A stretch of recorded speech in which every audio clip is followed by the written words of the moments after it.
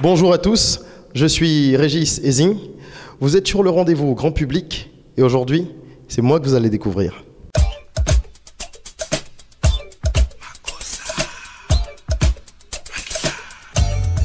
Euh, mon parcours académique euh, au, au supérieur s'est concentré sur une discipline littéraire.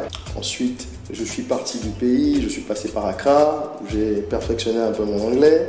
Puis j'ai atterri en France, où j'ai étudié dans une école de traduction et de communication interculturelle. Donc j'ai un master en management interculturel et traduction.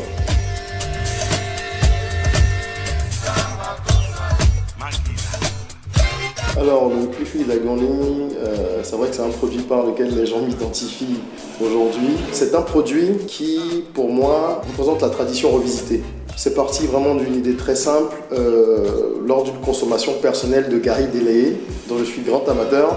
Je me suis rendu compte que ce n'était pas pratique en tout cas de manger euh, le, le plus tel qu'on le connaît sous sa forme euh, longiligne, donc bâtonné ou les escargots, parce qu'il faut casser à chaque fois. J'ai pensé qu'il serait intéressant d'avoir une autre forme, plus pratique, plus esthétique également.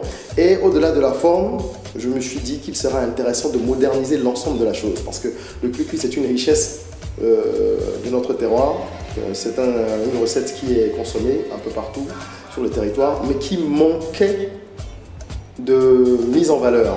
Et euh, on a décidé de s'attaquer à ce projet-là. Mais on est parvenu aujourd'hui quand même à obtenir euh, un produit qui euh, s'aligne sur des standards internationaux dans les rayonnages des différents supermarchés, etc. et des, autres points de vente.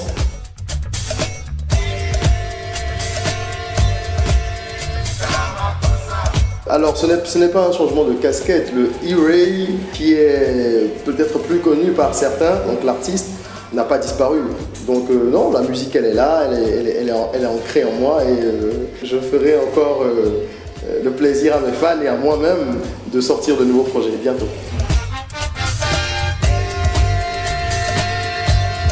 Il y a beaucoup de gens aujourd'hui qui se disent, bon, allez, la porte de sortie c'est, j'ai pas trouvé de boulot, je vais entreprendre.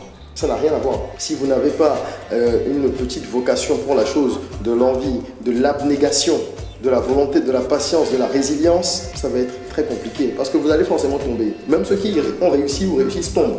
Mais c'est la capacité à pouvoir continuer lorsqu'on se cogne la tête plusieurs fois contre le mur et euh, à continuer parce qu'on croit en quelque chose, pas parce qu'on n'a pas le choix. C'est ça qui permet de, c'est ça qui fait la différence entre ceux qui y arrivent à un moment et ceux qui n'y arrivent pas. Toutes les opportunités sont autour de nous. Et généralement, on a tendance à vouloir chercher à créer des choses exceptionnelles. On cherche, on cherche, on trouve pas, ou alors on a des idées qui nécessiteraient énormément de moyens pour démarrer. Alors que juste à côté, il y a des petits besoins. Je pense que la grosse erreur, c'est d'attendre d'avoir beaucoup d'argent pour commencer un projet.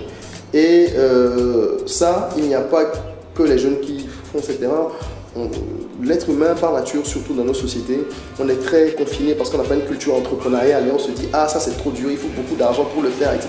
C'est pas vrai.